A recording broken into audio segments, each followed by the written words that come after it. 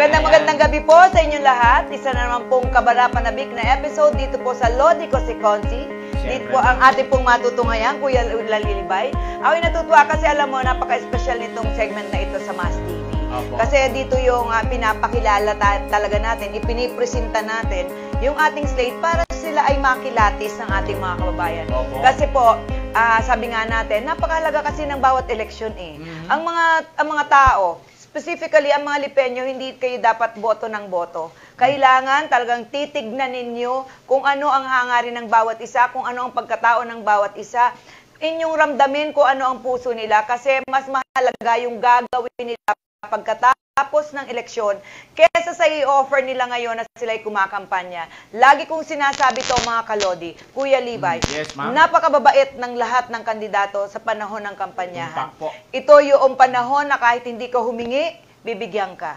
kahit hindi mo kailangan, aaruhan ka. Opo, opo. 'Di ba? Hindi ka nila ngayon pagtataguan, tatanungin ang kailangan mo, but that is not the same kapag ka nakaupo na at mayroon nang nanalo sa bawat eleksyon. Kaya habang may panahon, mga kalodi ko ang lipenyo, atin pong kilatisin ang mga humaharap sa inyo. Ako po hindi kandidato, but I am here, di ba, pinipresenta po namin ng aming programa ang mga kumakandidato. Pero yung mga pula, kung gusto rin magpakandidato, you are very much welcome. Pwede, pwede rin. Yes, oo. Saka ma'am, ano naman eh, ah, basta yung totoo lang na nagseservisyo, mama.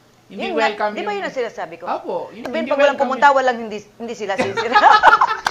Hindi joke, joke, joke. hindi Peace, peace, peace, peace. Kasi tayo naman ay friendly. Ang atin ay, this is, uh, uh, for Blue Team, this is a friendly competition. Mhm. Uh, wala tayong kinikilalang uh, kalaban, bagaman at sumasagot tayo kapag tayo ay binabatikos. Yun ay obligasyon natin sa ating sarili. Pero ang ating pong, ang laban po ng Blue Team ay friendly. Kaya ah, the hashtag Logit Lodi ko si Consi dito sa Mass TV ay ipinipresenta natin ku- lo- Loading Loading Libay Yes, Lopez. Opo. Ang ating mga kandidato para po mabigyan ng pagkataon, hindi sila kundi ang ating mga kababayan nakilatisin kung ano ba talaga. Mararamdaman mo naman yan eh. Mhm. Di ba tingnan ninyo, tingnan ninyo ang mga umaarap sa inyo, ramdamin ninyo ang puso nila and from there, you decide because this is your future. It's at stake pagkatasan. Tama ba, Loading Yes, Levi? ma'am. Parang And, hindi ka na uh, makapagsalita. Pinagdadaanan ka. Hindi, Meron ma'am. pinag- may pinag... ma- Nag-away kayo ni Sel. Ano? Na- nag-away kayo. Hindi. Natatauhan na siya. Mabait siya. Natatawa na. Hindi. Ngayong hapon, Kuya Levi, Mhm. ako excited. Kasi ang ipipresenta natin sa ating mga kababayan, and, I- and again, I would like to request each and everyone na kilalanin ninyo ang taong ito. Sobrang lakas ng loob ko Opo. na ipakilati siya kasi ako in my mind and in my heart alam ko na ang taong ito ay napakaganda ng puso at lalong alam ko na maganda ang hangarin niya. Hindi na niya kailangan ng posisyon, Levi. Opo. Kasi sa pagkakakilala ko, I am a friend to his mother, si Tita Shoni. Di ba? At sana, sana ma- maano ko yung picture namin nung bata-bata pa siya at napakabata ko pa. Hindi, pero ah, ah, sa pamilya pa lang niya, alam ko na kasi siya ay, kumbaga, made na sila eh. Di ba sa panuntunan ng simple nilang pamilya, ay parang meron na sila ng kailangan nila. And I, I, I, I am very certain that this man, hindi ba, can offer himself wholly sa ating mga kababayan. Buong-buo na niyang kayang ialay ang kanyang sarili dahil naiprepara na niya ang kanyang ginabukasan Mhm. at ng kanyang mga anak and now he's longing to serve you, may, mga, mga kababayan kong Lipenyo. And ngayon, Kuya Libay, I'm so excited. Please do the honors of, honor of introducing ang ating minamahal na kasama dito at ah, excited akong ma-interview to at Yes, kailangan nating ating ating saliksikin. Opo, opo. Yes. Kuya Libay, Siyempre, katulad ng sinasabi ni Mayor Bernadette Sabili, importante na kinikilala mo Yes. yung tao na iboboto mo. Hindi lang dahil nabigyan ka, Yes. o dahil sikat siya, yes. o dahil magaling lang siya magsalita, eh, Yes. okay na. Hindi po sapat yung kailangan. Yung pong pagkatao ng ah, mga iboboto natin, ihahalal natin, ay sigurado natin na makakatulong. And hindi masyado po tatagalin. Ah, although special po yung mga lahat ng kasama Yes, natin lahat. sa Lahat partido ng Masang Lepenyo. Walang hindi special sa Oo, Blue. Team. Apo, apo.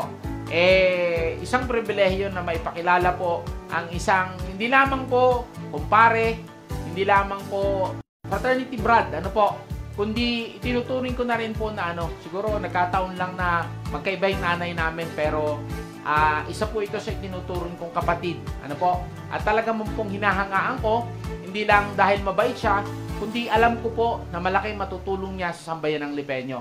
At yan po ay walang iba, kundi si Brother Konsehal Elmer Reyes. Yay! Magandang magandang hapon po, ah, Konsihal Lodi Elmer Reyes. Yan, siyempre. Bumati ka muna, Konsi.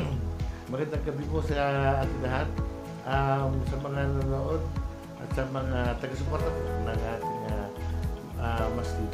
Ayun, siyempre. Yeah. Alam mo tong si Konsing Konsi, ito parang man of few words. Ano? Opo. Pero ano? Ito yung tipo na pag naging konsihal eh, kaya ang tawag ho namin sa kanya, kasi may kanya-kanyang tagging itong aming mga konsihal. Ah. Siya po ay yes man namin. Kasi feeling ko, pag nakaupo to, hindi ka pa tapos magsabi, oo muna. Hindi, ma'am. Pero, kidding aside, yung yes man, ah, nabuo. Ye, Reyes. Dahil sa Reyes. Yun. no. Saka, ma'am, yung ipilido ni Tita Shoni. Ah, Mantuan. Mang, manggubat. Manggubat. Ah, manggubat. So, yes man. Oo, yung Pero yes for bagay na Reyes. bagay din naman sa'yo, yes man. Kasi ang pangit naman ng konsihal na no man. Lahat talagang bagay na bagay sa'yo yung yes man. Hindi ba, ang sabi nga natin, ah, dagdag lang na background niya, siya po ay anak ng dating city engineer Yes, ng, opo. ng Lipa, si Engineer Sid ba? Sino po? Sidro. Reyes. Eh, sorry, modern ako, Sid. si, si Engineer. Si Engineer Isidro Apo, apo. Reyes. Yan, yan ay matagal na na sabi ko nga ay isa siya sa na, ma- ma- matuwid na naging city Apo, engineer. apo. Kasi ang pagiging city engineer eh maraming pribilehyo eh. Opo, opo. Pero sabi ko nga at sa, siyempre sa pagsasaliksik natin kay Elmer dahil pinipili nga natin yung best among the best. eh. Mhm. Na nakita natin na ang kanyang magulang ay talagang matutuwid din na mga ano. Ang kanyang nanay, si Tita Shoni, ay uh, tao simbahan yan. Madalas niyo po siyang Yes! nakakasama. Oo, at kahit mga hindi, event sa simbahan. Sa mga event, minsan dadalaw siya sa office, magkikita kami sa labas. Pero nagkahulihan kami ng loob, kahit hindi ganon.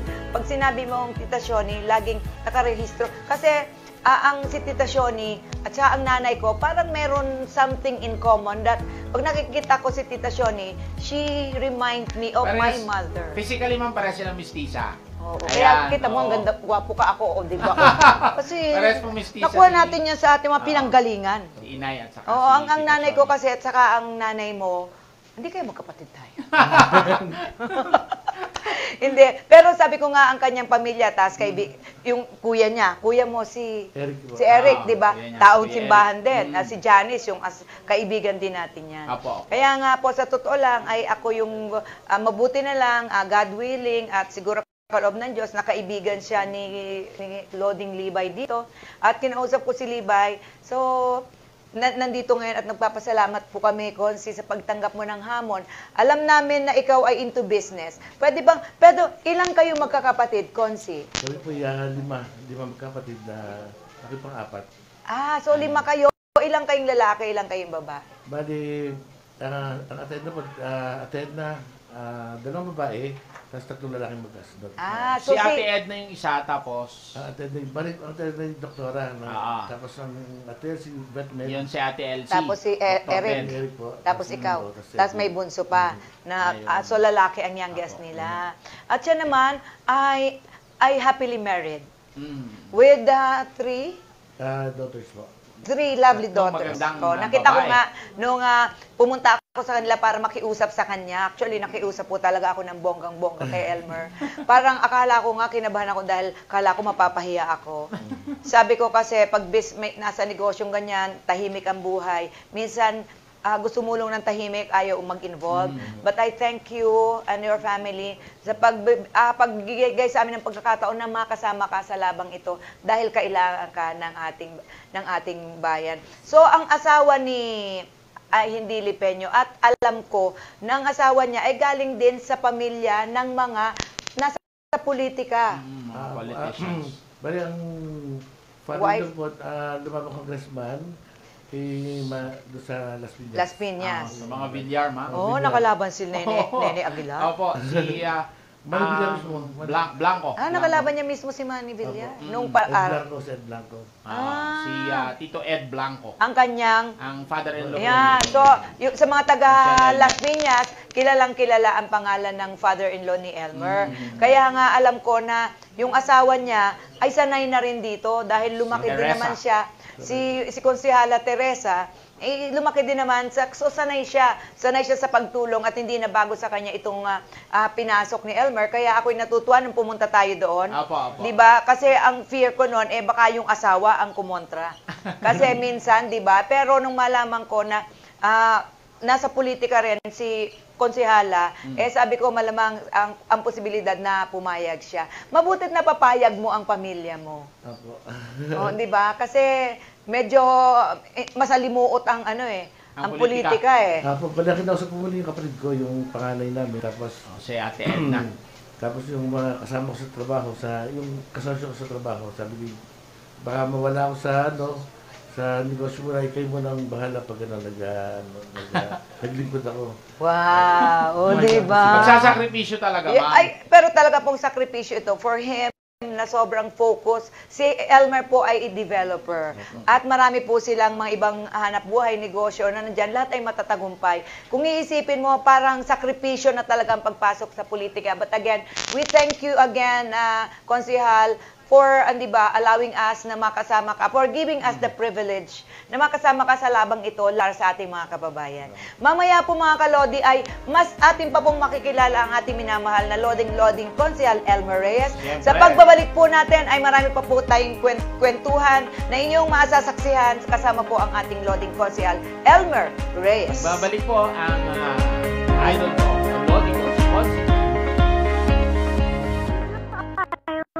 watching TV. Don't watch more. Nagbabalik po ang hashtag Lodi ko si Konsi. Dito, pa rin. siyempre sa Mas TV.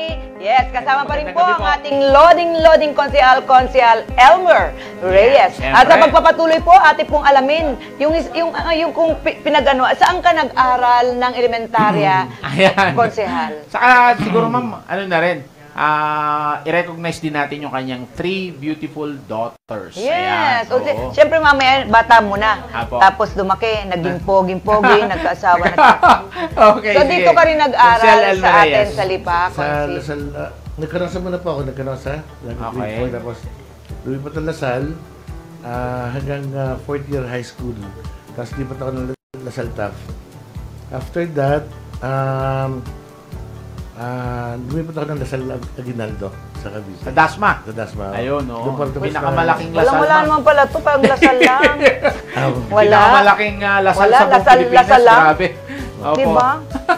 Lasal, Eh, wow, wow, di ba? ganun But, talaga, uh, ma'am, Very good uh, educational background. Yung mga magulang po ay nagsumikap talaga. Yes. Katulad nyo, ma'am, tinan mo yung mga anak mo. Oo, Magaganda rin syempre. ng eskwelahan.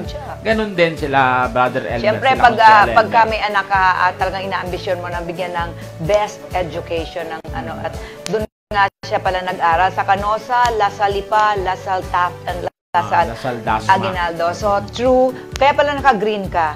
Opo. Green Archer siya. Hindi, ma'am. Naka-Blue Eagle siya. eh. Pa- padala po ito ni ano ni Vice President Yes, Sara alam ko naman na Duterte. nagustuhan ka ni. So, after mo na makapagtapos ka, ah, madami kasing negosyo ang pamilya ni. ni- Opo, opo. Sa kabatiran ng ating mga kababayan, kanila yung mga makikita nyo mga Rayman dyan, Ah, mga, basta may mga mga man, subdivision. mga subdivision po, sa pamilya po niya. Pero, hindi po yun eh. Si, si Elmer po ay nagtayo ng sarili niyang kumpanya. Hindi ba? Siya ay nagtayo ng sarili kumpanya. At ah, paano ka nag-umpisa sa sarili mo? Kasi pwede ka namang sumandal na lang doon sa pamilya. Sa magulang, Ah, Sa magulang, di ba? Pero ngayon ay matagumpay ka sa sarili mo.